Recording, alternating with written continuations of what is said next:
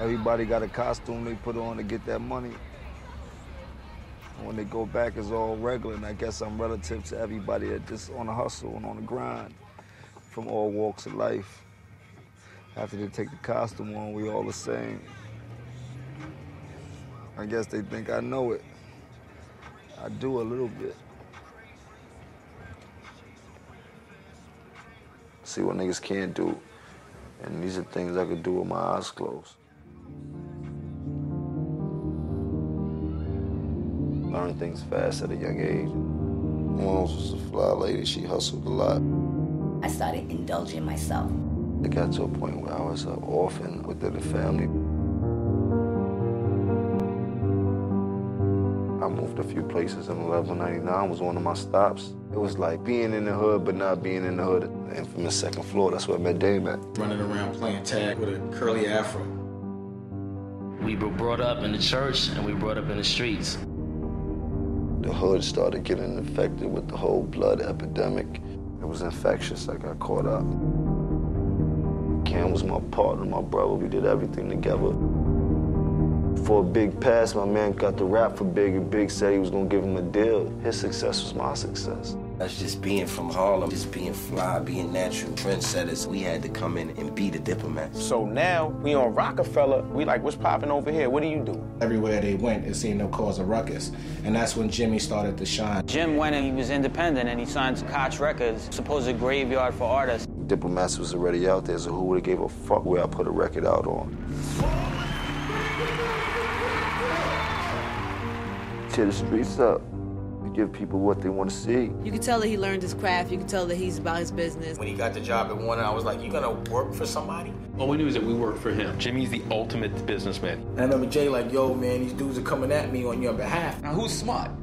Jimmy takes a record, now he got Jay-Z on his record. It was almost like Napoleon. He's crazy, he screams, he yells. He has gotten kicked out of every club in the city. Damn near got restraints on everything I do in New York City, from issues with the law and, and trials and going back and forth to court. One of my best friends ended up getting killed due to just violence in the street. Seen every group break up. I don't think one really affected me as much as Dipset not moving together. This is Bird Gang. This is everything that I thought it should be. Letting go of those beefs is part of his personal evolution. Trial and tribulation for purification. I got to see a life before this life. Losing my father and a lot of my family members to HIV. You couldn't imagine the things I've seen. Everybody says Jimmy's crazy. I'm like, how is he crazy? He has three record deals. Busting my ass so hard and doing things that nobody else has done in the game. I'm not really famous, but I bet all the famous people know me. I guess I grew past that now.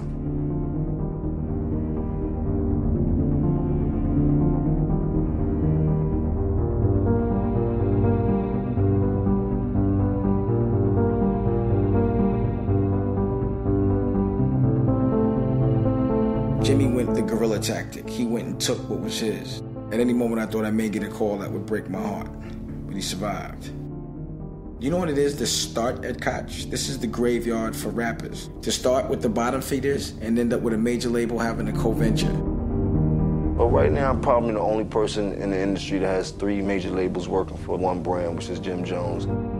I've been fortunate enough to be able to go on so many walks of life and capitalize off of it. They say when bitches won't fuck you, niggas won't be like you, you that nigga. And even the people that hate want to be like me, so it's cool. The news is that uh, I just signed a, signed a nice little deal with Sony. Shouts to Rick Rubin, Columbia, and all that. We still get money. Dipset, Full Life, Bird Gang, Skull Gang. We born to fly, baby. The funny thing is success is a funny thing. You think the fame and fortune was only a money thing. Dame was that piece of the puzzle that needed to be fulfilled, and I just needed to know how I could get him to understand that. For the foolish threats. Over the jewels on my neck, you wanna die for a foolish rap. When they want me put that album on hip hop? Fourth quarter, probably. Said third quarter. 3rd Mm-hmm. Why? Hip hop was my first intern. That's my first intern. I gave him the nickname Hip Hop. He signed Jimmy. The head of marketing at Sony is Al Branch. He might have been my fourth intern. Now they work with Jimmy, who I've known since he was six. Everyone has to see that even though I'm old, I'm still gonna stunt on him. You know what I mean? I'm stunting on him. Yeah, stunting on me. I'm gonna stunt on you. Yeah, stunting on me. I had turned my back on the music business out of respect. Jimmy used to come to my office. I see him, we hug, I'm gonna come back, I'm gonna come fuck with you. He say all that. Come look at what I'm doing. He'd been watching me. I was trying to evolve, and the way Rockefeller ended, I felt compromised my brand. So I had to leave rap. I'm out. I'm gonna go do fashion. So I'm over here, I don't even hear about hip hop. Hooray. Paying for showrooms and sponsoring yachts, opening up stores in Russia, buying diamonds. If you had to sell, where would you start? One million. Okay. You want to turn it around so they know? Sure. Like if somebody hit your head with it, you'd think you got pistol whipped. Trust me when I tell you. Now, these are the kind of things that I've been doing. This is where Jimmy's going. How could I turn my back on him? He done everything right. Even when I'm the one that told him not to rap. I didn't see it. I missed his beauty. I missed the talent.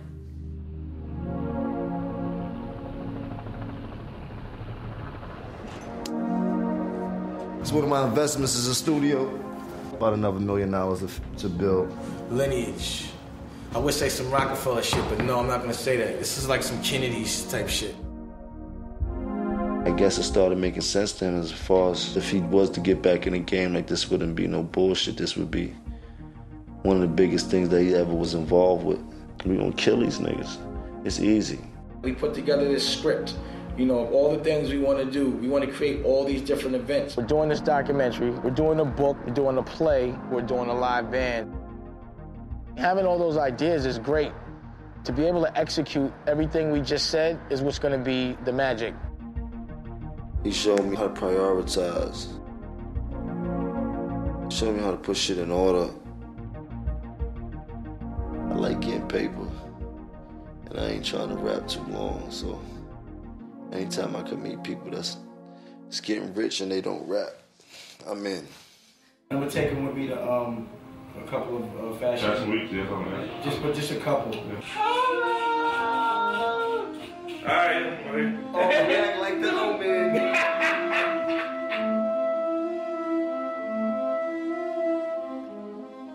guys are gonna tell everybody else who you are. These are the people that are gonna trickle down. Like, this is the top of the totem.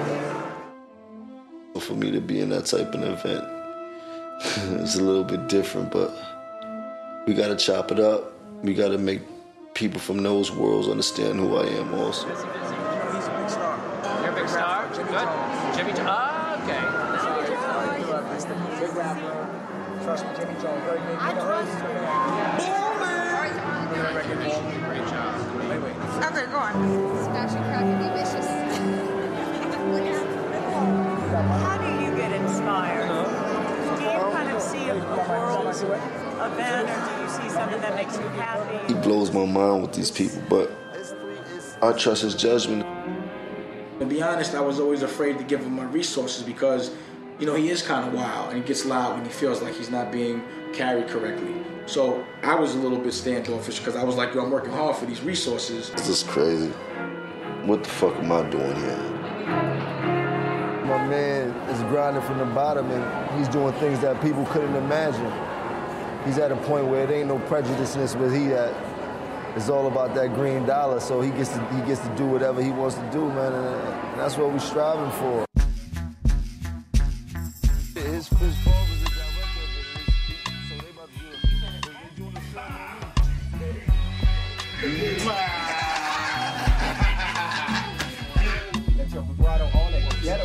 Listen, we gonna make it funky. You? Young, we was reckless. The nighttime would come, we was restless. We all hustle though, some got arrested. Made me some money and had one to get a necklace.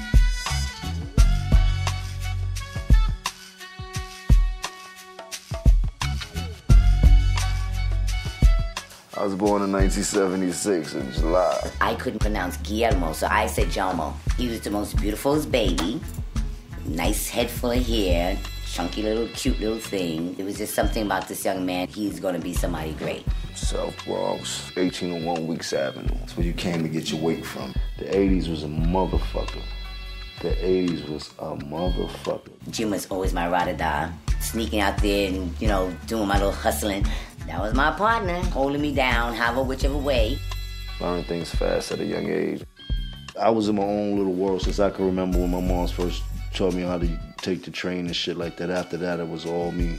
I drift off, not only just hustling, but I started indulging myself. It was like rags to riches, then back to rags. I don't know if people really know what it is to sleep in a crack house. These are some of the places I would have to go to see my mom. Everyone in my family indulged in hard drugs down to my grandfather. Only person that didn't do it was my grandmother. And I love her for that. She was the only one that kept a level head and you know, she showed me what church was, she showed me what being a man was. It got to a point where I was an orphan uh, within the family, but all my family loved for me so much that I was able to go live with them and they treat me like their own and things like that. So I, I moved a few places and 1199 was one of my stops. East Side, 109th, First Ave, 1199, the nines we used to call it. 1199 was like heaven to, to the projects around. It was almost like we had our own little world. It's kind of like the co-op around that area. He came to live with my mom, my dad, myself, brothers and sisters. Jim and I shared a bedroom, sneak out, hang with the dudes. And from the second floor, that's where I met Dame at. Running around playing tag with a curly afro, pause, but like curly, you know what I mean? We were brought up in the church and we were brought up in the streets. Family was very church oriented. We went to church, we did the Sunday school thing. We was always in Catholic school. Me and Jim, I will say exactly in third grade summer school. And from there, we've been rocking hard body ever since. Stealing, beating up pizza men, robbing a Chinese man, jumping out of cabs. I went to boarding school and I went to all the white boy schools and all that. I know what it is to live in a sort of a hood, but be really educated and go from one extreme to another, go all the way on the front line. I was on 142nd and Lenox. I was just that cool. Somebody owed me money. You know, the rules was you either punched them in the face and you were paid, or they had to pay. So I, you know, every now and again, I had to publicly punch somebody in the mouth. Guys like Dame around the block, they had a lot to do with looking out for Jim. We always encouraged and had this little bit of inspiration about him when he came around. I was assessing things a little bit different at that time. It wasn't no more playing with G.I. Joes and toys. At the end of the day in Harlem, it was all for the money and the ladies. Everything just had to be perfect, man. Your sneakers had to be right, your haircut had to be neat. Hustle, get a name, get a rep.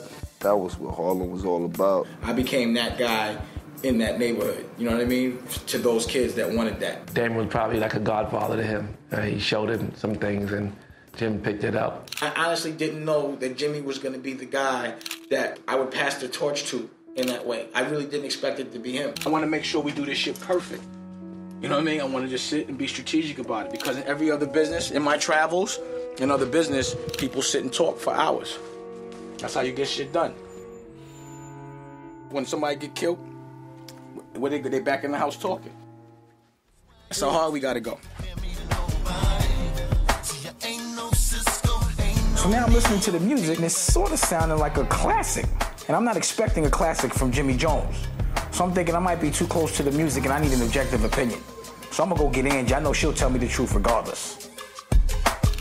Angie Martinez is the voice of hip hop.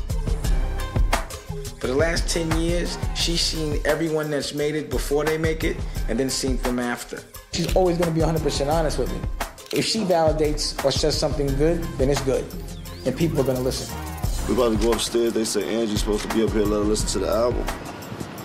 Every day at work, I don't even get to go home. I gotta come straight from the airplane right to the studio.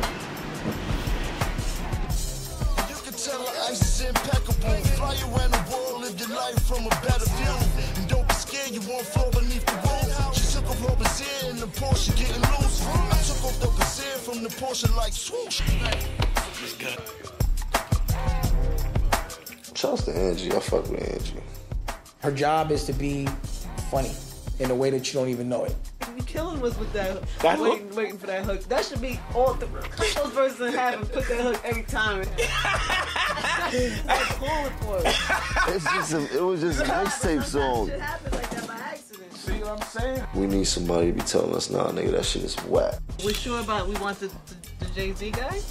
Jay Z ad-libs? So we take the ad-libs off if that's how you feel about it. This time around, I don't really think I want to be in the videos. It probably will look corny because I don't look like anyone else that I think is corny, which is why I asked Angie. How do you do it?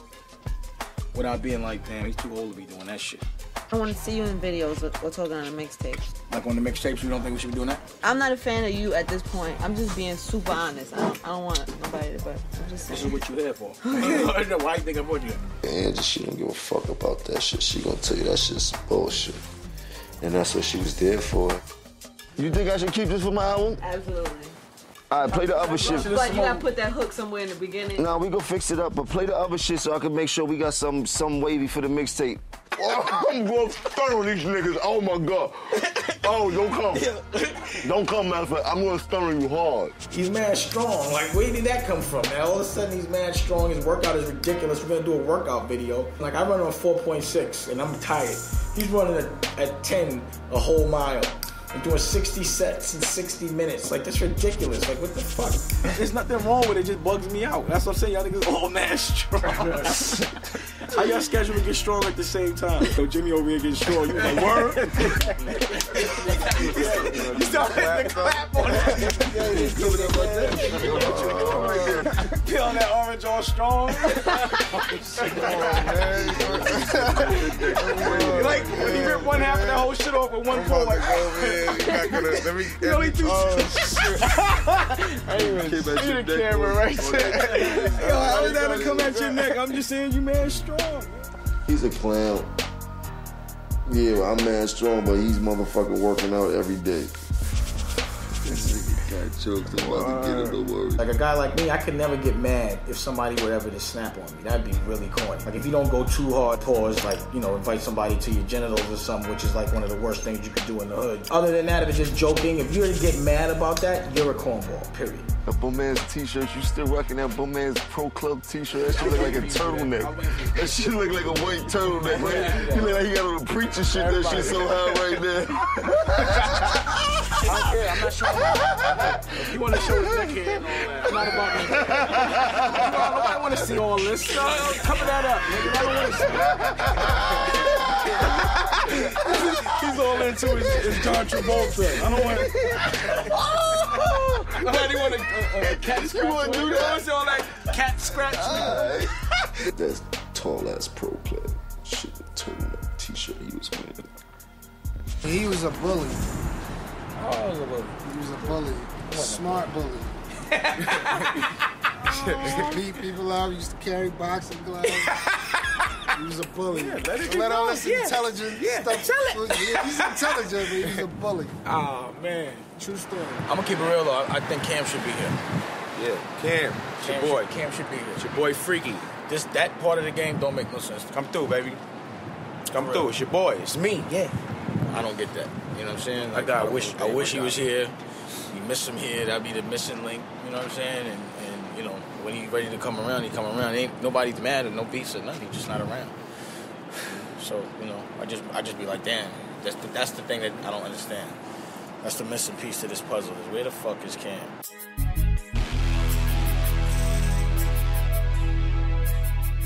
Me and Cam met in 1199 Recreation Center. Cam was a talented kid in playing sports. I was always trying to take his trick dribbles and trying to be as good as Cam in basketball.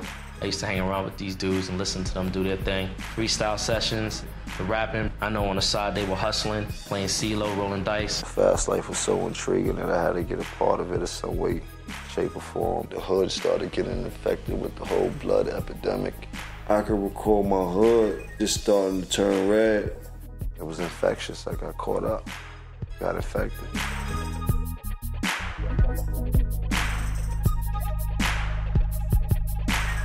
That's when I really stepped up to the real big boy parties. So the first time I ever met Jim Jones was probably Tunnel Nightclub. Sunday night at the Tunnel is the biggest, longest standing party in America for hip hop. And that's where everybody showed.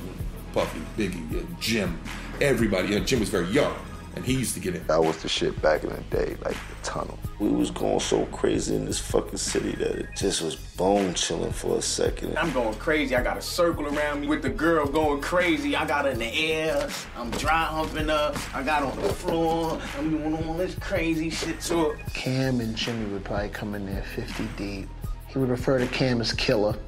And he'd always be like, telling you, killer guy, it's gonna be crazy flags. Afro out, wild. I think maybe a comb in his hair, probably parted, or you know. And I was just like, damn, who's this kid? You know what I'm saying? Like he had a presence about him. We kind of all knew each other through Big L, who got killed. They were in a group called Children of the Corn. So there was Bloodshed, Cam, Mace, and Big L. Bloodshed died in a car accident. We were devastated. He was part of the, he was part of the family. He would have been right here with us. Lost it. This was for blood. It's like one of my first tattoos with these two hands and shit like that. I know Blood right now look down and be pissed off at me and Cam know that we acting the way we acting. Cam was my partner, my brother. We did everything together. We both had the same dreams and goals. For a big pass, my man got the rap for Big, and Big said he was gonna give him a deal. I ran down on Un for him to get his deal at Sony. Like, yo, we wanna know if you trying to honor that. And Un said, yeah, Big told me something about you. We gonna we gonna sign you right on Morningside Park when they was shooting that I Love Big Papa video, and that's how we got our first deal. When they went to go sign, my mother, she was like, Ezekiel, you can't go down there. You gotta wash the windows and clean your room. Jim must have made me the most proudest mother on earth. Watching everybody do it, niggas like, dang, niggas was getting major money. Buck wants to be having a risk getting killed all day trying to make a dollar or make enough money and you can't spend it the way you want to spend it because you, you could go to jail for a long time for a paper trail. Didn't make no sense. This made all the sense. His success was my success. It was a beautiful marriage for two kids who wanted to grind and willing to put everything on the line to get where they had to go. And when they got there, I don't know if they was willing to put everything on the lines.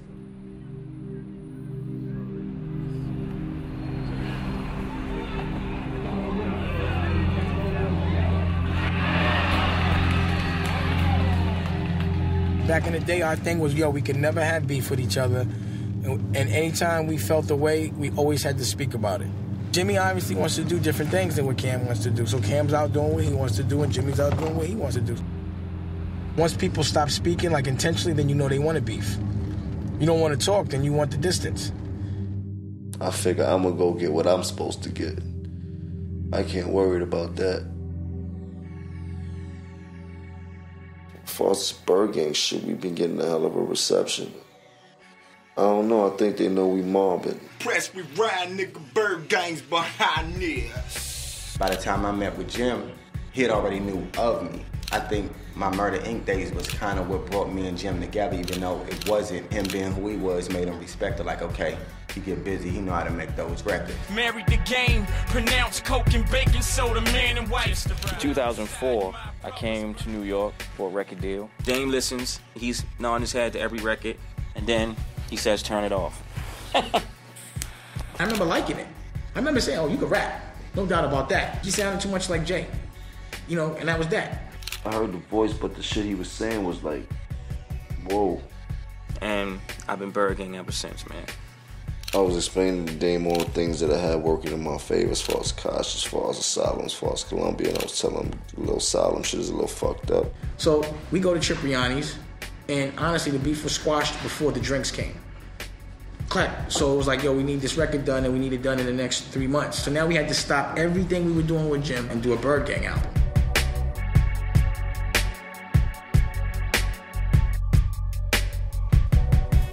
Told Juelz I'm doing a splash record. He was like, man, you can't do no splash record without me. Swag splashing. You know what I'm saying? Niggas getting the drift. We still setting the presses. We shopping for a video. We have them off. The video's called Splash. We prepping for the splash. Spread love, baby. Come on. Spread love, baby. I just called. Just left Louis. You know we are infamous for the Louis scarves and things like that. Splash. Y'all still think it's a hoodie? It's not a hoodie. man. It's not a hoodie, man. Price of Louis Vuitton scarves went up and all that. Walking by, leaving puddles everywhere, shit like that. You see the ground wet? Get the floor right now. Splash. That's because That we ain't 'cause outside. it was raining out here. That's because we used to some. We left that whole thing dripping. yeah, that's what that's about. We pretty much trendsetters. God bless us for that, and it's fun doing it. So you know, tomorrow will be another fashion show, and they love it. You did. I mean, talk about trend setting that whole skull and bones and rock star look. He set the pace for that. Wherever I am, I see Jimmy. I'm like, oh my gosh, look at all these little Jimmys walking around. Shit, video. I'm pissed off.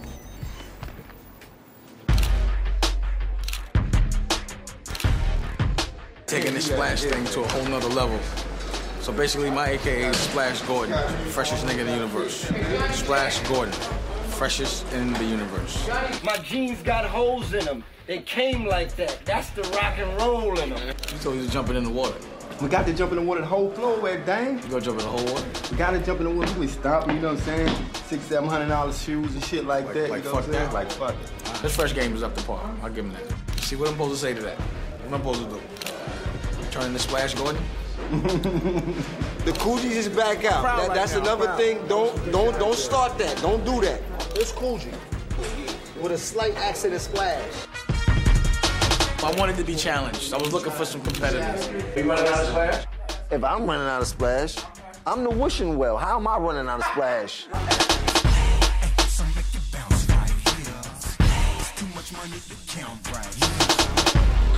Goddamn, I'm so cold. Money, hoes, and clothes, that's all a young nigga knows. That shit was crazy, cause like we was just out there having fun. We standing in water, fifteen, twenty thousand dollars worth of clothes a piece on. Who do that? Like people don't do stuff like that. Bird gang. Really too much more I can say.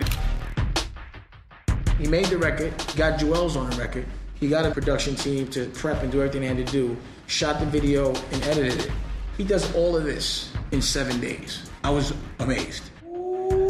On some, on some big shit. And I threw it in the water and stepped on it, disrespected it. what we're gonna do is we're gonna start freeze framing when it be like splash. Yeah.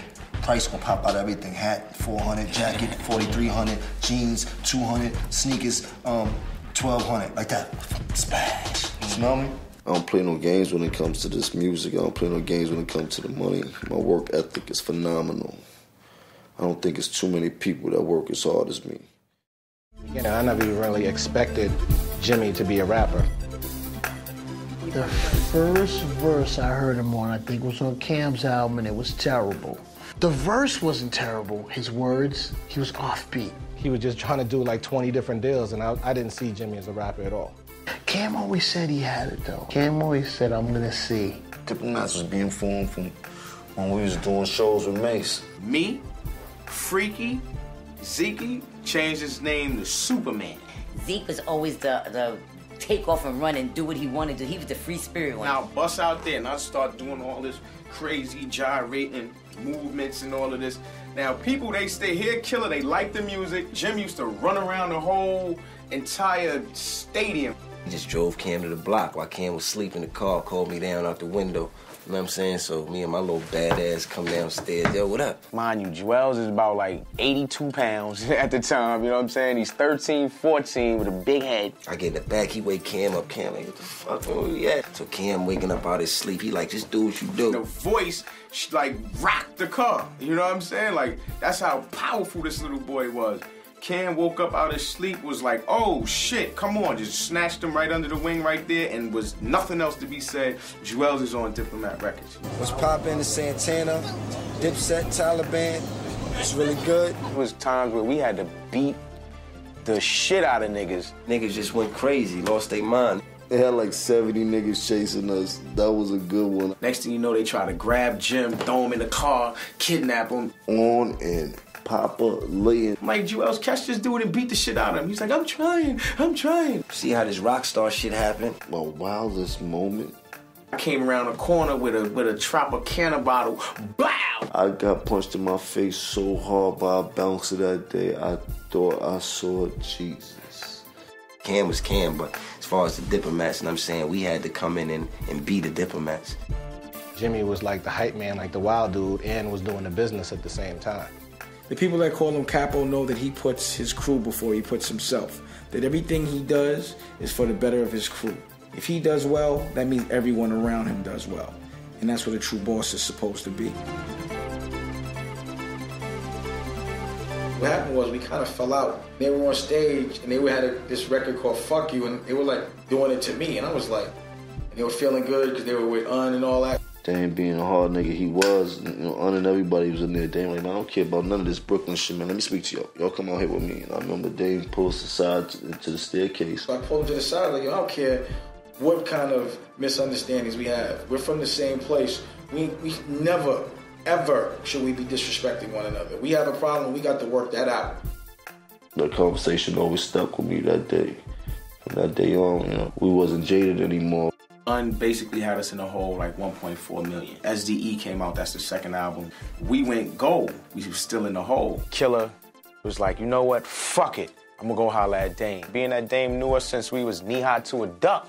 You know what I'm saying? He called me like, yo, Sony's messing up and I need your advice. First, I was just gonna step in as a manager, but when we figured out that we could actually get Cam off of Sony, We ran in there with like 30 bloods. I mean, niggas apologized to Harlem on camera. We was young and stupid. I'm not gonna have y'all upset and you could go someplace else. I was like, all right, I'll sign you. We end up signing him. My son drives up in his bad ass car. And I'm like, Joe? He says, look what I got. So I'm trying to read. I said, is that's that's some zeros going on there. Dipset, you know how we keep it, man. Jim Jones, capo status. You see the mob, man. It's real, man. That's that real one. We ain't playing no games, man.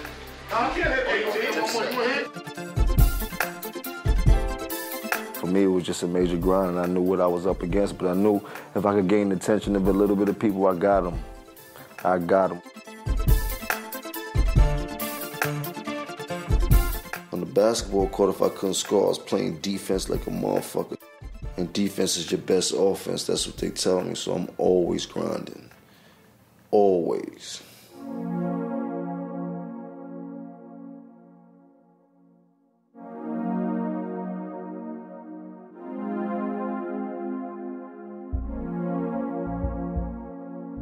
He's way more evolved. When he said he wanted to be in the movie business, I said, all right, I'll introduce you to everybody I know in the movie business. Now he's like, yo, dang, I'm ready. He's the guy in the music business that really no one thought was gonna make it, including myself, not as a rapper. He got a movie coming out through Sony. He got a book coming out. We'll go sit down and do a round of meetings, come to LA for a week, set up 10 meetings with all the studios and all the key cool producers. I play any role, anything. You did? Yeah, we did. Because I'm the same person when I get off camera. We'll go to LA and we'll take meetings with every producer that has a deal on the lot and every executive that I know. The woman you're meeting with at the Which one the you want me to skim through with so I can have some Brooklyn's insight? finest. All right, so I'll get on Brooklyn's that right now. Is, is, is Warner Brothers. In those three days, every hour on the hour, there was a meeting. Denzel and Will Smith getting old. He gets to be with Don That's- Cheadle that's hard. and Richard Gere. The room we were sitting in, people's name titles were president. President.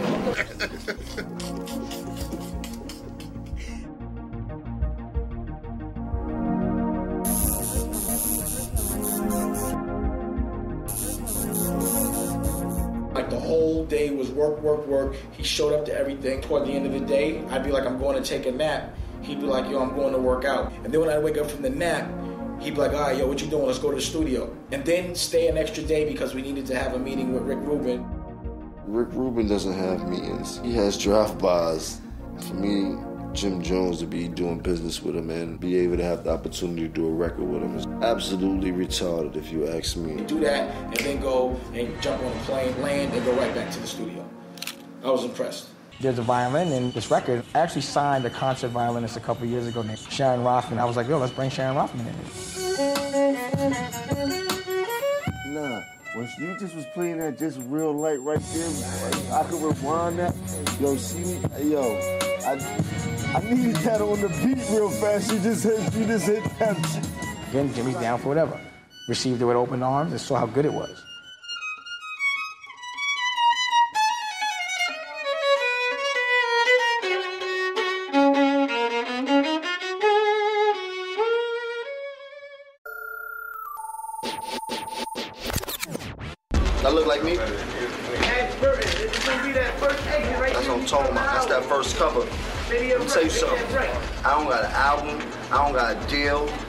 Been thugging it. Ha, Eat your heart out. But I do got the record label Diplomat Records.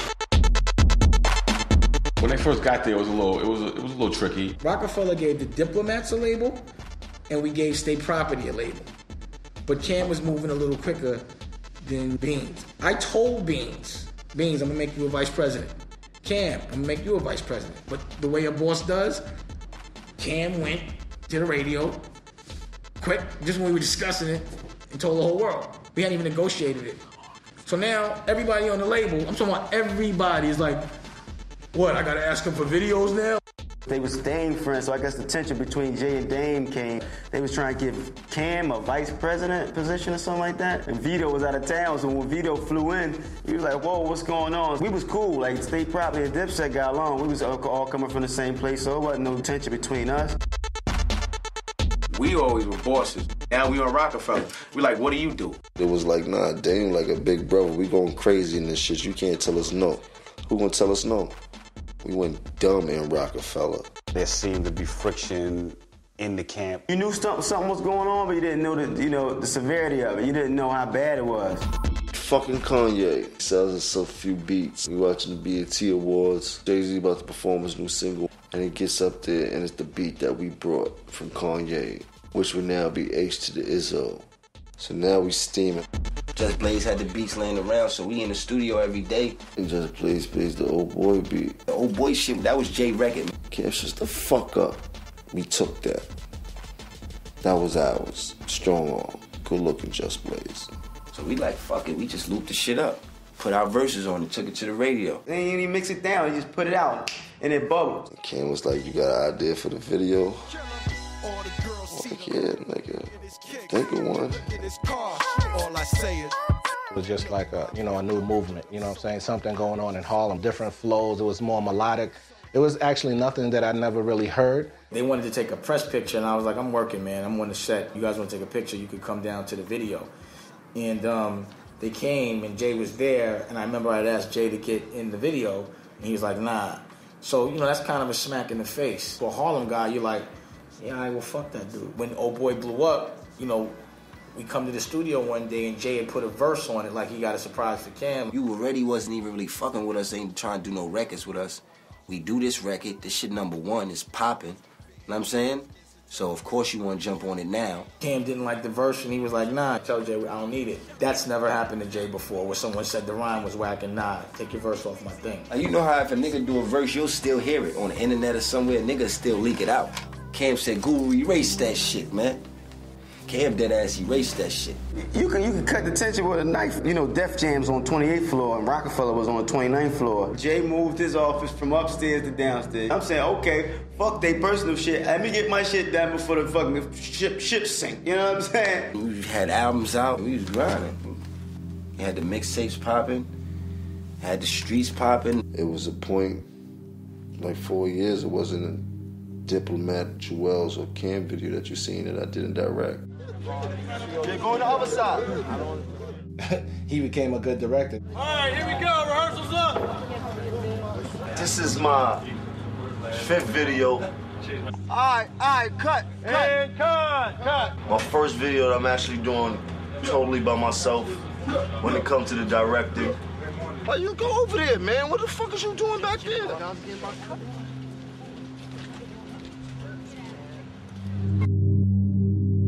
They told me to come out to their block in their hood. When I came out there, it must have been 300 people on the corner.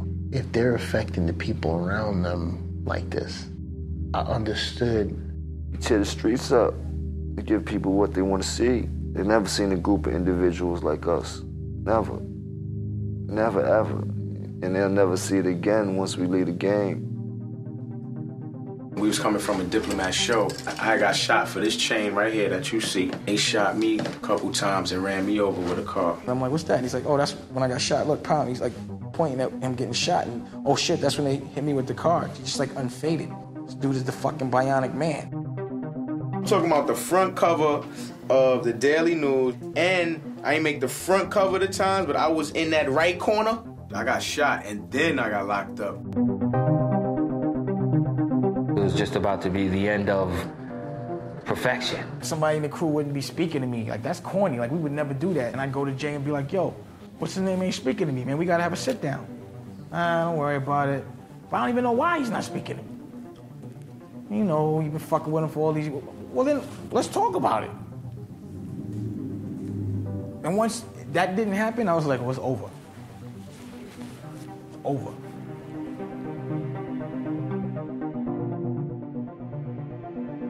We were the umbrella. We were the top. Beans was rolling. They had state property, there was movies, there was clothing lines. Cam was good money. Juelz, good money. Kanye, good money. Jay, good money. All that good money. The way we had it planned out was lovely. I had the nerds, I had the gangsters. I cannot believe that this plan got ruined like this. Just was so pissed off that the niggas snake my nigga Dame like that and Biggs like that. Retaliation was a must. I couldn't have them missing no money because I couldn't work my shit out. So I was like, yo, if you're not gonna let them put out their records and you're not gonna sign off on their budgets, they got to be able to get money someplace else. I'm not gonna stop them kids. Everywhere they went, it seemed to cause a ruckus. And that's when Jimmy started to shine. You know, he would come and bring songs by here and there, and I would listen to him, and I'd be like, yo, that's kind of hot. I tried to get a deal with Dame. I stepped to Dame and told Dame give me a million dollars. Dame said, eh. And I was like, Jimmy, you don't even really rap. Like, how am I gonna get you a million dollars just because, like, I believe in you? But like, how am I gonna get them to believe that? They're not gonna give you a million dollars. But Jim went and, and, he, and he was independent and he signed to, you know, Koch Records, you know, the, the so, supposed graveyard for artists, and he made it work. Me and Ken was willing to look past all of that because we had major label success. Jim was a member of the Diplomats, and I said, wow, Diplomats were the hottest group in New York, so of course I would want to do it. It's been hard historically to have people cross over from the hype man or the businessman or not the main rapper in the crew and to get credibility as a, as a rapper and as a hip hop artist. And I think it took Jim a little while, but he was able to do that. Diplomats was already out there, so who would have gave a fuck where, where I put a record out on? They just know the Jim Jones record is coming out. Smell me? Just like now. Niggas don't give a fuck if I put a record out on Mars Records. They gonna go get it. Know what I mean?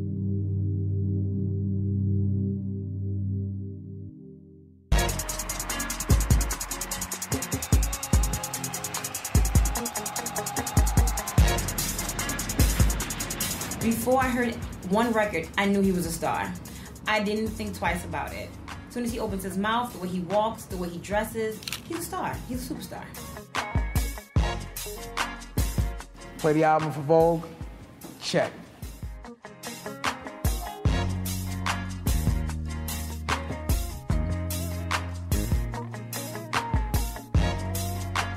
They can always say and walk around and say, I heard that record first. Vogue. And they're not gonna be telling nobody in the hood that. Whether they understood it or not, they know Jimmy Jones. When they hear Jimmy Jones record, they're gonna say, I heard that in the studio. If something comes where, like, you know, there's an opportunity for we need to get a gangster rapper and the best one, they're gonna pick Jimmy. And it's just infectious. I just want the whole word spread. But take that league, like, just, you know, look how strong he is. You know, remember I tell you, man, strong. Hey, the music, the music is Here you amazing too. Really, it's really amazing. I got it. sounds like nothing else. I was really impressed. Thanks, everybody. Bye-bye. Thanks for the cupcake. Sure.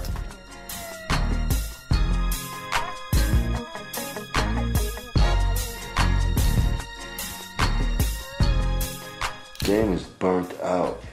If he can't make jokes all day and have fun all day, he ain't gonna be himself. See, the thing about Jimmy is he really feels like he's stunting on me. But there's certain rules in my world that are different than rules in his world. But he thinks I'm snapping. So I'm like, okay, in your world, in, in this situation, it's okay to wear one brand with the other, like have a Gucci hat on, have Prada shoes. My man Jimmy come in here. No, there Gucci are hat, no, there's exceptions. Prada shoes. There's exceptions. I don't know what's going And the Prada shoe? Oh! I don't even care about it. I won't wear them no more. You mashed it, and that has G's all over it. G's up with the little green and all. Hearing with the print.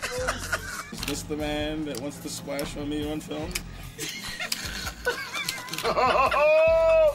You got my pride involved now. I'm mad. I'm mad at myself.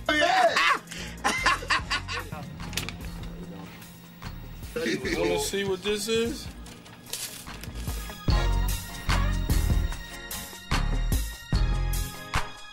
You can tell that he learned his craft. You can tell that he's about his business, that he really has been taking this seriously. He's not just somebody that's just, you know, making songs.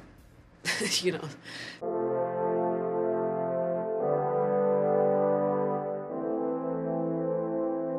Jim Jones' career, I've always been in total control of all the business of Jim Jones' career. I've been just filming the first video of my album on the way to church, Jim Jones, the ghetto's advocate. I'm out here in Cali, LA, City of Angels. In midst of the hood, I'm in Carson, right next to Compton. I'm right off of Avalon on 223rd. Shouts to the Boo-Yaa Tribe, shouts to the homies, shouts to the Blood, shouts to the Crips. When you in Rome, you do what Romans do. When you in LA, you do what the LA niggas do, nigga. I will not let New York down. Came to us with the first single and the first video for Certified Gangsters. He had Game on the single and the video. Game at that point had never been on anything. He was signed to Interscope that was setting him up, and he was on the video. So much to Interscope's sort of dismay, the first look for Games on a Jim Jones video. It's real out here, man. That's how we do it, man. It's a wrap. West side, uh, that city where them text fly. It was almost like Napoleon, you know, he knew exactly how he wanted to do it, exactly the whole strategy for it. Being involved with the diplomats, Jimmy, got us very, very hot.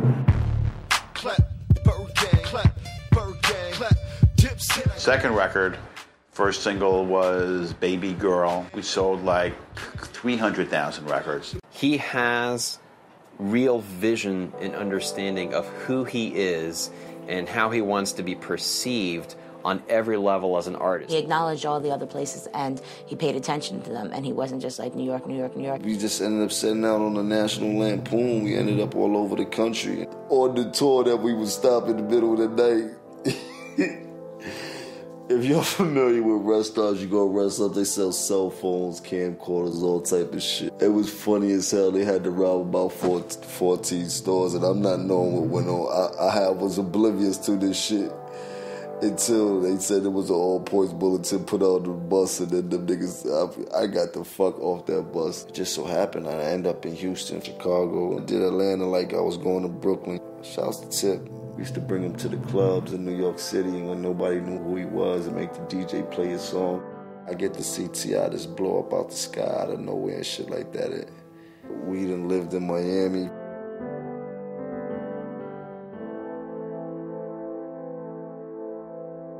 Gangsters in every town respected what we done as far as our movement and shit like that.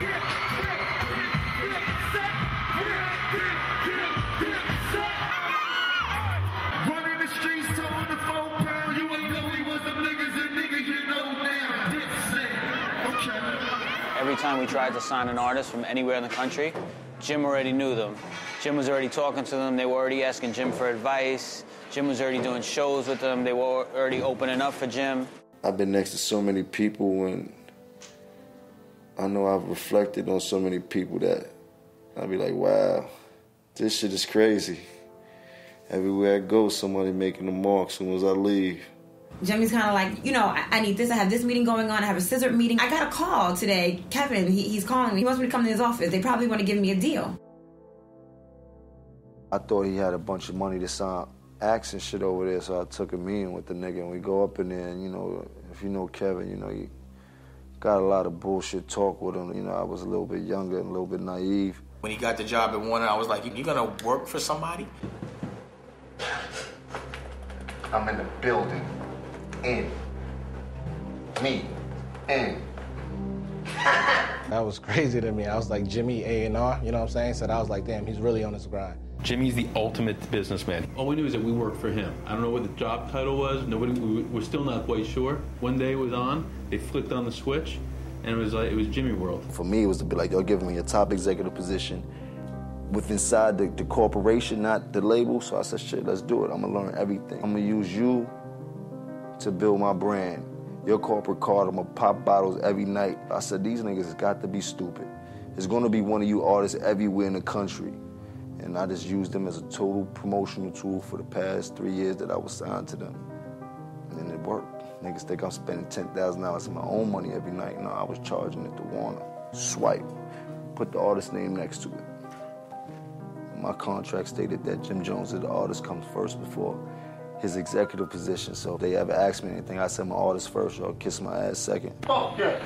Smell me. He has turned those offices upside down. Fuck that, we in here, B. What to my mama, B? hey, yo, Ferry. Hey, yo, Ferry. Oh, you gonna act like you don't see me, my nigga, right?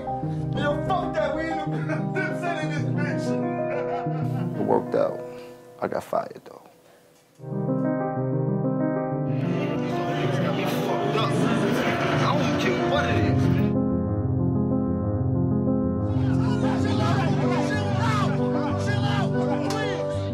Has gotten kicked out of almost every club in the city. Jimmy Jones is probably one of the high guys on the uh, the watch list. Better make it good, Derek.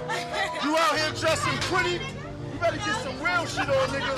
I'll give you a wet- He would show up specifically to nightclub doors just to be a pain in the ass. Just it's just not needed. And mind you, he's filming this. Tell your mother to suck. He can be quite ignorant. Fucking low life degenerate, third world country. Your mama used to be a slave, bitch. You retarded bitch. You Down syndrome slut.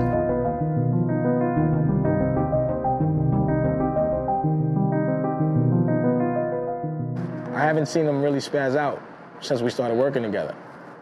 You know what I mean? And I don't think it's an act. I just think it's an evolution. I was asking Jimmy today, I said, what are you doing in the studio? You mixing? He said, good. Nah, I just go to the studio every night. I already went outside, did everything I needed to do.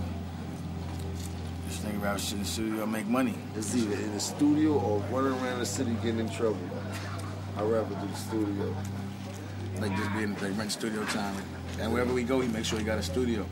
Well, the studio kind of keeps you out of trouble, huh? Hell yeah.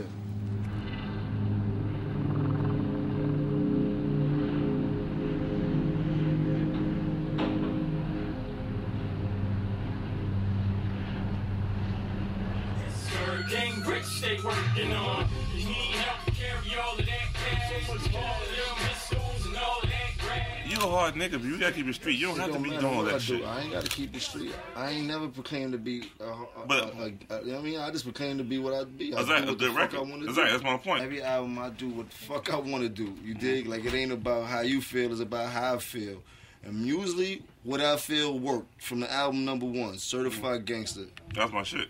I can try to do what I like in the studio. Ain't nothing, ain't don't nothing come out to be like, yo, I needed something for radio. I only do what the fuck I like. Good. I love it. Mean? So, if I end up did picking one of them other songs, best believe that one of them other songs would do just as good as any other record I did. Jim always picked his own singles. I give him that, and he always picked the right one.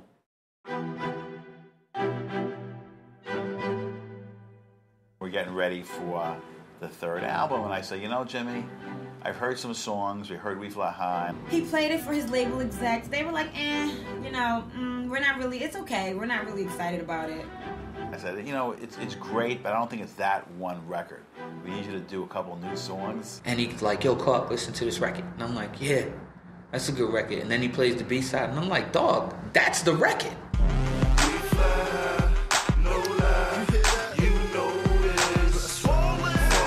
I heard Ballin' on Flex first debuted it, and I called him and was like, yo, that song is hot. I was really playing the record for my listening pleasure. At the radio station, we starve for records like that, that you can hear it and go, this is a monster. It was a straight smash. They were looking for girls, and I was helping them pick the girls. And the lady that was casting was like, Can you do me a favor? And I'm like, Sure. She's like, Could you just go to hair and makeup? And I'm like, No way. I'm not putting on a bathing suit. It was fun.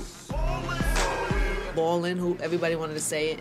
Then once they put the move with it, It was ridiculous.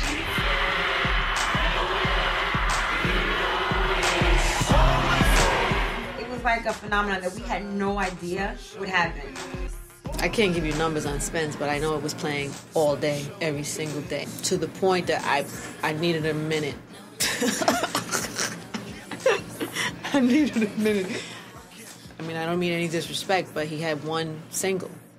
It was a smash, but it was one song. So to be able to take one song and flip it into a huge check is pretty impressive. So in the plan in the script, we're supposed to meet Rick Rubin and get a record from him. Check.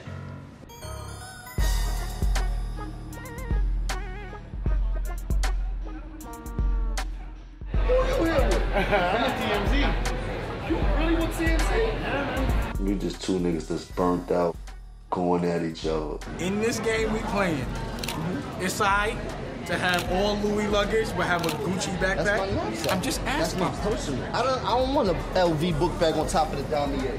So you have a Gucci on top of it?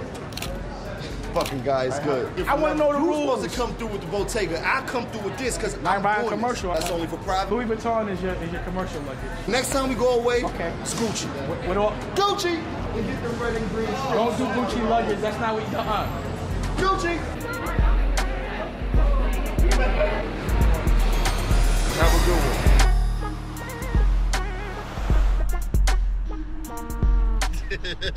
I threw something out the window. The bitch called me a fucking slob. This is the United States. This whole shit is a fucking cesspool. Yeah, you're a slob too. I know. I'm a slob with some money, bitch. How about that? That fucked up car you riding. What is that? A Honda? That's not a hybrid. You stupid bitch. That car ain't green. because Rick Rubin is creative, I don't think scheduling is gonna really come from him. And the person that's the in between is hip hop.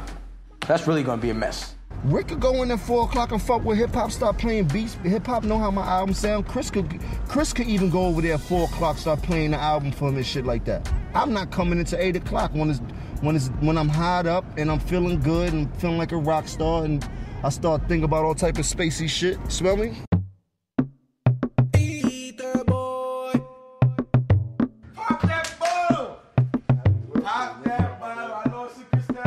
It's a tradition that, you know, when it's your birthday, you gotta drink a whole bottle of either Dom P or Cristal to the head. Yo, hip hop was my first intern, man.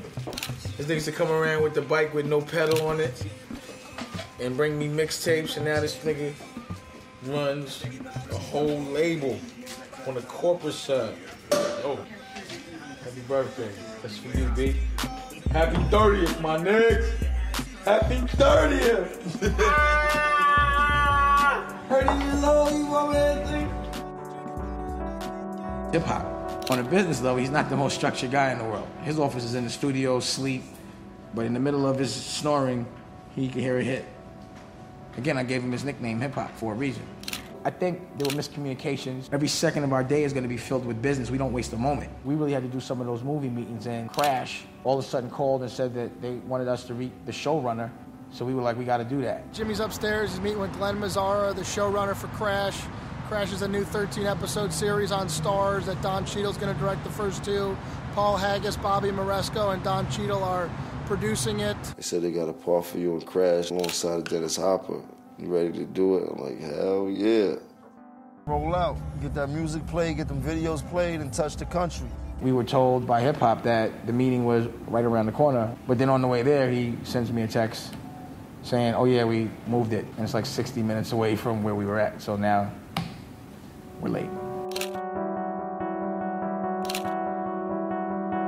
Yo, like we've been here for two days. Two days in LA costs a lot of money.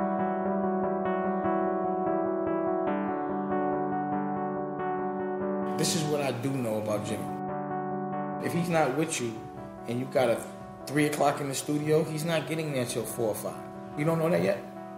No. You, okay. You gonna seriously tell me you don't know that? But damn, I told you that, man. He wasn't gonna set it up till we got till y'all was here. He could t- if he told us to set Because he was in the studio today and nobody was here. So why you keep acting like it was this is the you know what I mean? Well, man, this is the, I don't know why we If he tell me three o'clock or something like that, he gonna be there right at three Listen to me. o'clock. Listen, listen to me. And then he listen gonna to have me. else to do. All ego aside, right? Exactly. There's a better way to do this so these things don't happen. We need to figure out what it is. So we gonna have to stay another day. 515 in LA. It's 815 in New York. As you can see, we drank, got high, bugged out. Had executives come through, talked about marketing shit, how we gonna roll out. We break day. We break day, man. That's how you get that paper, though, right?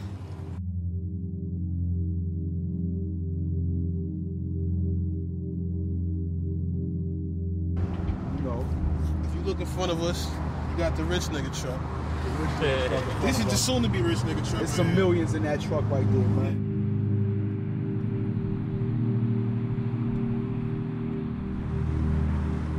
We came out here to meet Rick. He doesn't do his meetings the most conventional way.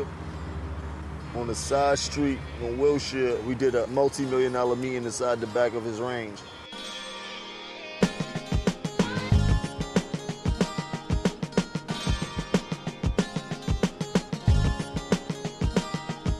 Rick Rubin's a bad motherfucker. He's a, in the, period. Rick Rubin is every, you know, he's Slayer, he did Johnny Cash. Found great artists and worked with him, period. So he's got Jim Jones. Shouts to Rick for even giving me this opportunity. We're about to have a hell of a ride, baby. Surf's up, big boy. We going to the top. Feeling good about it? I'm excited. It's by far better than anything I've done. And that's how you do a meeting. What's up, man? All right, yo. Rick Rubin gave us his, his contribution to the thing. He got me a track. Now we about to kill these niggas. Badly. Bird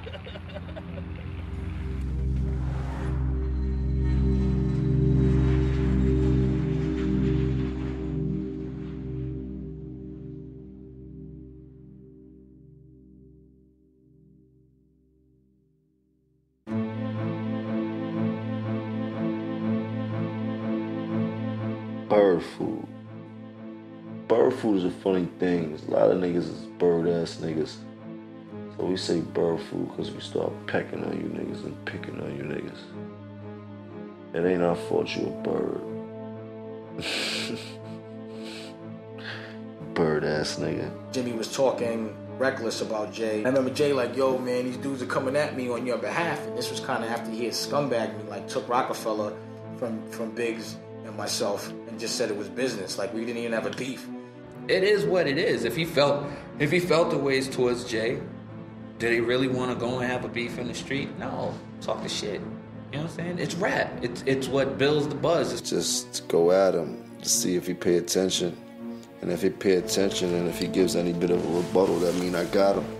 Jimmy can't lose. One of the, the biggest pop star. The person on the come up, the underdog, is always gonna somewhat benefit from it. He should have just not even paid me no mind and I would have faded out like everybody else that tried to get at him. When Jay started to uh, acknowledge Jimmy, it's like Jimmy was like popping bottles. Jay had mentioned to me one time, are you okay with someone who's been in the game less time going at me? I touched a couple of buttons of his that he really didn't appreciate. So, you know, when your ego and your pride get involved, even the richest man to take a stab at it. You got the greatest rapper of all time, considering having a beef with you, you know, and, and then like Jimmy was kind of winning. The worst thing he could have did was just feed into it and try to do a remix with my song. Look what happened. Jay got on his record, went back at Jimmy.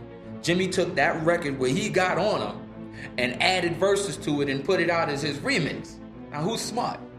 Jimmy takes a record, now he got Jay-Z on his record. Jimmy took advantage of that 100%. Definitely got people talking. Jay is a bird. Bird food. You bird food, nigga. I'm picking on you this year. You too old to be doing what you're doing. And you dress terrible.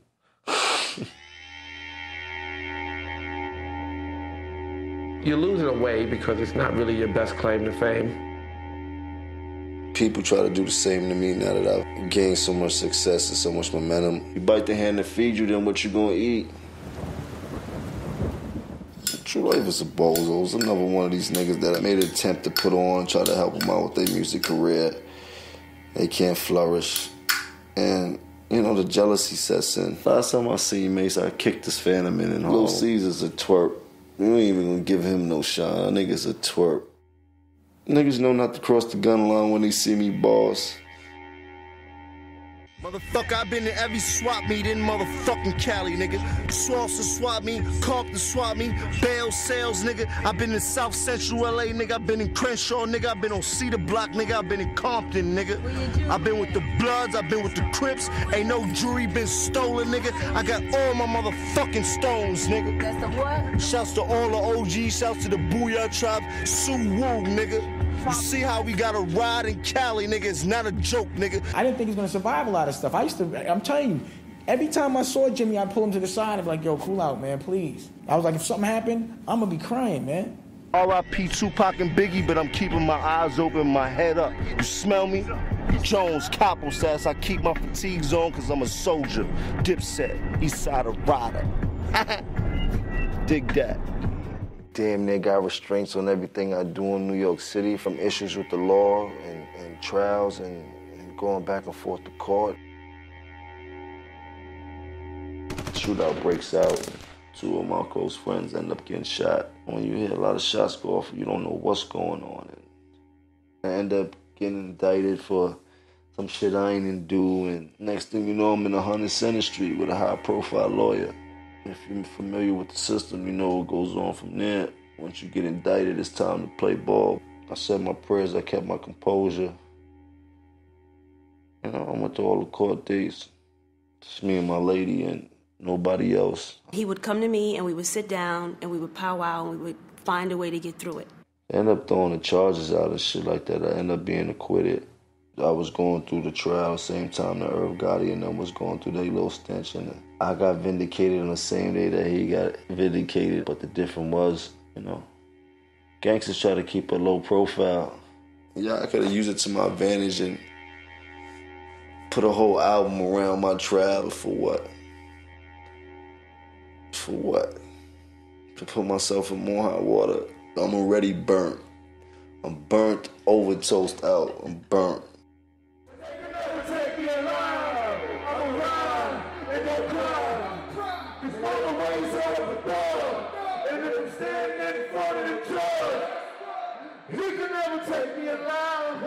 amul waaw et toi.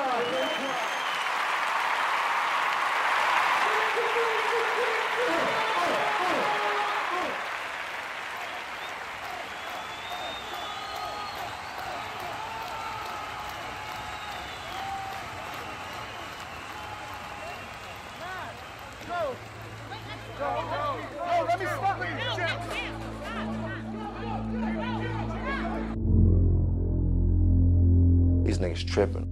I don't want to do this too much longer under these conditions.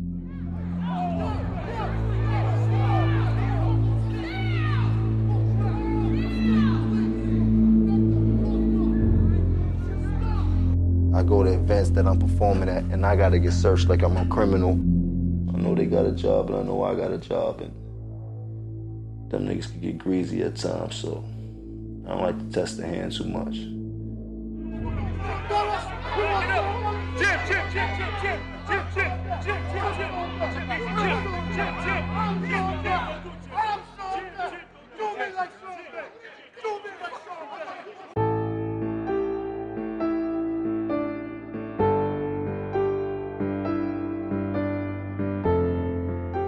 Best friends ended up getting killed due to just violence in the street. I'm like, what happened? Yeah, they said Stacks got killed. So what? I just had to wake up and find out what the fuck was going on. I was like, phew. sure enough, Stacks got killed. It was like he lost his brother.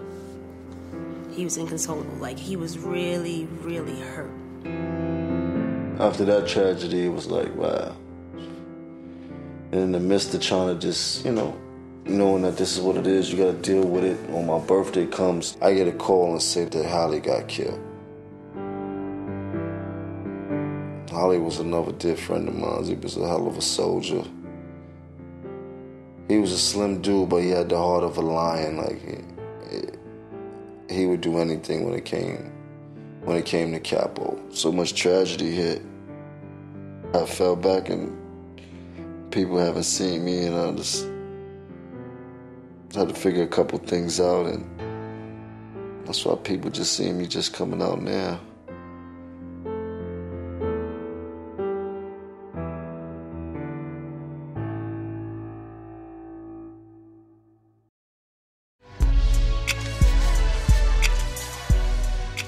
Let's make a movie. Like, what? Let's make a play.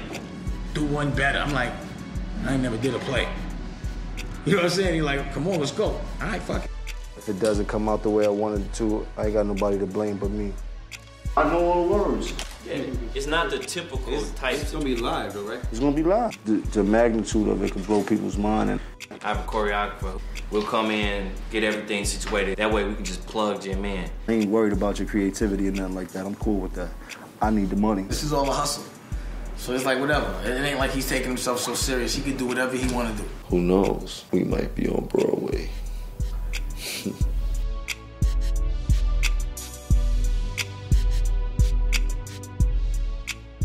Let me see those again.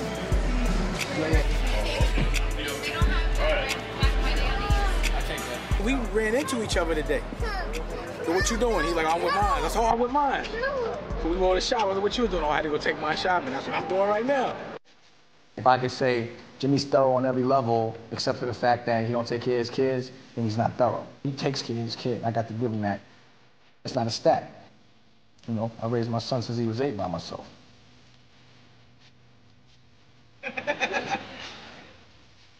Dave wants all the right things for him. They definitely needed each other. Oh, without a doubt. It's it's perfect timing.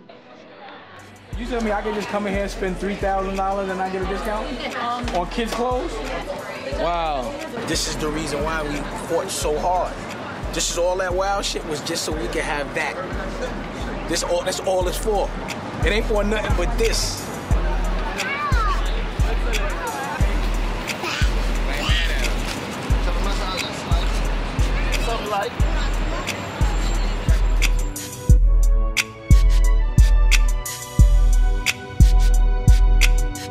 All the fight, all the risks, all the guns, all the frustration, all the yelling is because you understand. You mess this up, I can't take my kid to Cipriani.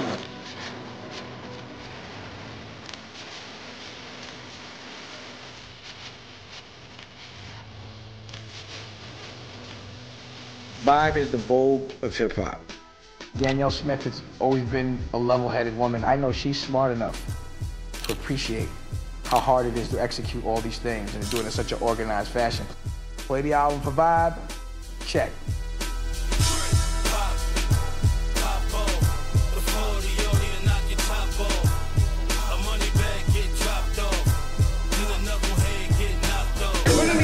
I'm gonna keep crossed. I. I love you so much. That's how you gotta take the time. The one part of this puzzle that's really bothering me is that Cam's not here. I really don't know what's going on, to be honest. Frenemies. Friends who become enemies.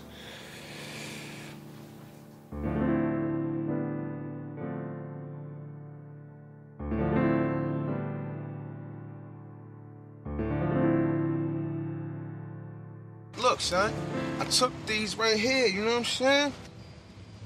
I took shots for this, you smell me? Know what I mean? I get home and there's, there's problems within the set. So I'm like, what the fuck going on? By the time that 50 Cent shit came into play, that whatever was going on between me and Cam was already going on. I couldn't really worry about what, what people was thinking at that point because I got a career to worry about. And if nobody else is gonna worry about my career, I am. So the moves I make uh, are the moves I make, whether niggas like it or not. Is it that bad? I mean, could y'all have a conversation? Oh, conversation? for me, it was it, it was never bad. It was just you know it gets a little deep at times, but it was never no hate or nothing. It's always love. Like I grew up with that man. Like we grew up like brothers amongst everything else. But for the most part, you know, I ain't seen him. I, I don't know where he be at. So I wanted to ask a couple questions and things like that. But it seems like I was I was being avoided on purpose for whatever that reason may be. You know what I mean? But hmm. it's a little heart touching. I'm sitting here watching this shit happen. I'm supposed to be an OG. I can't stop this shit. This shit is killing me. You know what I'm saying? This shit is happening on my watch. And you know why? Because it's not but so much I could say because it happened between me and Homeboy. Let's say Jay and I worked out our differences and I was able to prevent all that from happening. I could say, look, I did it, but I can't even say that now. Seen every group break up. I don't think one really affected me as much as Dipset not moving together. We gotta credit everything to the diplomats and to the hard work and to the sleepless nights and everything that we done and shit like that. Cam was always Cam. You know what I mean? It took us to make a diplomat. So when you see us, you see the diplomats. When you see me, Jim, and Zeke, know what I mean? If Cam happened not to be there, that's the diplomats right there. You lose friends. How many friends you lost since you since you was born? you know what I'm saying? How much bad can, do people think I could say about Cam? I mean, you know, some people got their fucked up ways and shit like that. I think I told him a long time ago that this was part of the plan. That there was going to be a separation for some reason, and we wouldn't know what it would be. But I also told him that it was meant for us to get back together. That was also part of the plan. Deep down inside, I'm just waiting for the get back.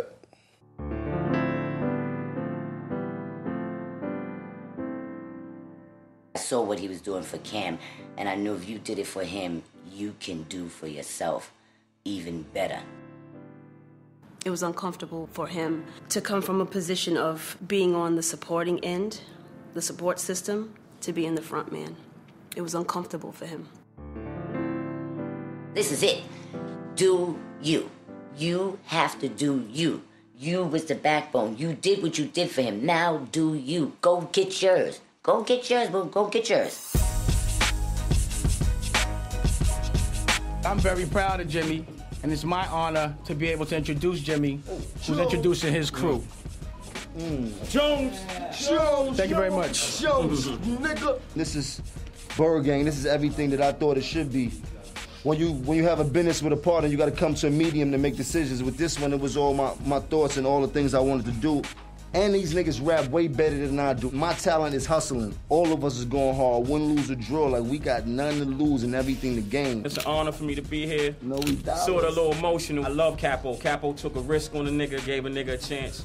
There were reasons why I couldn't, but I, I made a mistake. I, I'm big enough to say that. My bad. Don't Mike No Ching, he's very famous. He's he's got all type of accolades. He's got Grammys under his belt. I know him for damn near could do everything that you've seen, imagine when it comes to music. He's like idiot savant when it comes to this music. Melly Matrix, man. I'm Marvin, man. Bird Gang, man. My name's Sandman, aka the Bird Gang Rider. My name is Ashi, the R&B King of Harlem. Yeah, it's your know, Bird Gang, baby. Freak is an angel. Y'all, y'all might have seen him on covers of news, all type, but he's he's blessed to be here. He's back with us. Like I said, it's always diplomats for life. That's what God has said. We just blessed to be able to keep going on and keep moving on and doing new endeavors and getting new money and getting Bird Gang money and getting 730 money Yeah. and Skull Gang Yeah. money. We was getting third grade money. Like we've been in this. we, me, me and Zeke was getting third grade money for real. Put the Bird Gang album out. Check. Shoot a video for Bird Gang album. Check. Shoot a movie for Bird Gang album. Check.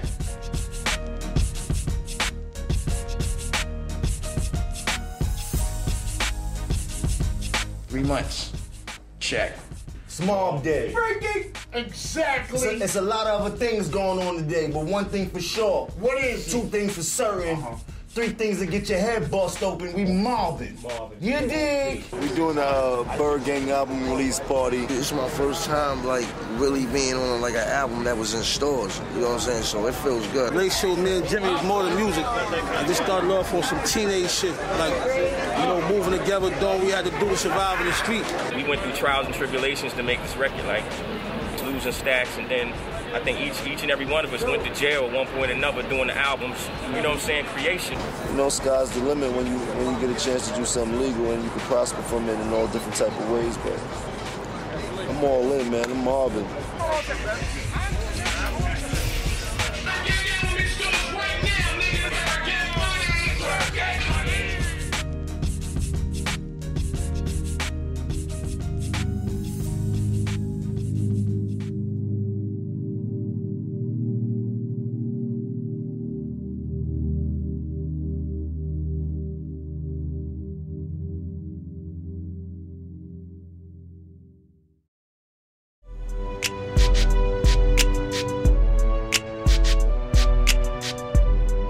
Heard about Jim Jones from Harlem. I wanted to meet this young rapper. I have a lot of respect for the rappers who come off the street with a certain, not just street credibility, but with a certain reality. We ended up building a hell of a rapport. That kind of started my conventional way of giving back to the hood. We were preparing for the Houston Hip Hop Summit. You are the most important generation and the most powerful generation this country has ever seen. When you do get to that point where people are listening to you, it's cool to do the right thing. So you have to make sure that you lead by example. I wouldn't ask y'all to do nothing that I wouldn't do myself. When the percentile get, get real close on making that decision of who goes up in that office, we got that. We the minority, but we really the majority. So hip hop's on the rise, you heard? Jim Jones is, is speak of truth. I knew that Jim, at an early age, had already been through a lot of trial and tribulations. Like a lot of inner city kids, we don't come up with our fathers too much. You can see what went on. He been drugging for for damn near all my life that I can remember. That was a stretch. I haven't seen him for like 13, 14 years, and then I, we ended up bumping back into him. He was sick already, very sick, and he died around Father's Day. But it was cool that we got to spend the last year with him. My sister got to see him. He was strong. We got to kick it a few times. You know, I miss him, but you know, the epidemic is not just taking his life, but taking so many other people's life within my family also and shit like that. Like it's just that's just how it goes, man. People need to be more aware of what's going on when it comes to the HIV and AIDS epidemic. He's a leader on waking people up about the HIV and AIDS epidemic. We give out annual action awards to hip hop leaders who give back to the community. When I found out the award that he was getting, it was for the AIDS that he was given. I, I, I started crying. I, I, I was like really flipped out. I was amazed. I was shocked.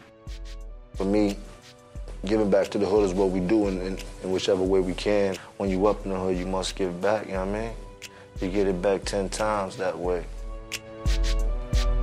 Jim has suffered things that to some people are unimaginable and survived it. His story isn't only the story of pain, hurt. He has a story of amazing triumph. Trial and tribulation are for purification. So I, I met Jim Jones at a point of his purification. Yeah, this is Dr. Ben for my man Jim Jones.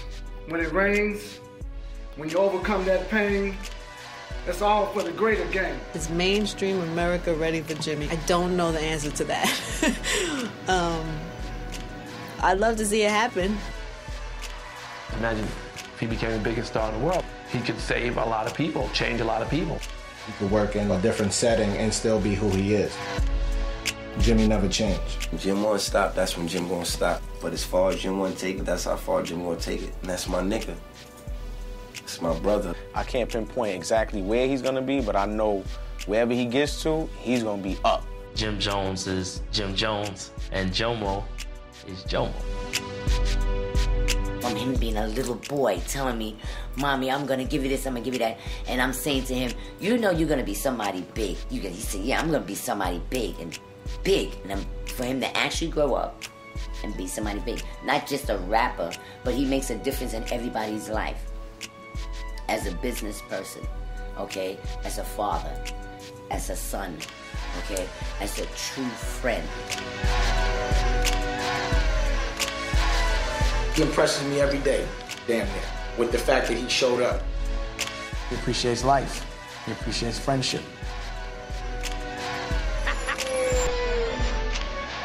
I know what I'm hustling for. I'm hustling to get the fuck about this game.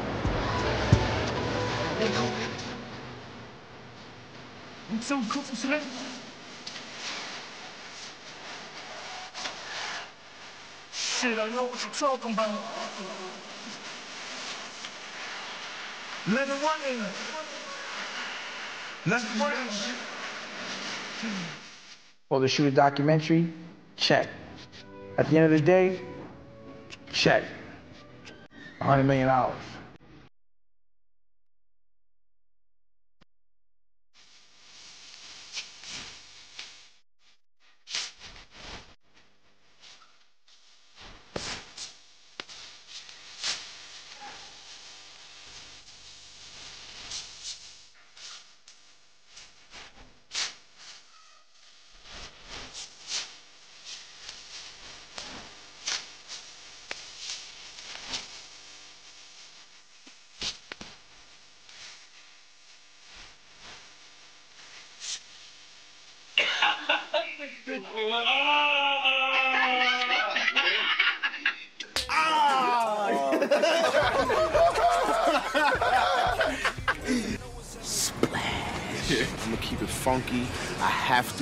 Bathroom to do number two. It's Live documentary, right? Freaking! You British Walker foot ass nigga. I used to be able to wear Nike Airs. What kind of foot is that though, man? I used to be able to wear Seven year old foot, you'll. The old ass foot. I'm the wishing well of He said that in his interview, oh, yeah? All right. I'm gonna give him that. The wishing well, baby. I hear that. You know what I'm talking about? I wish you well. I'm out.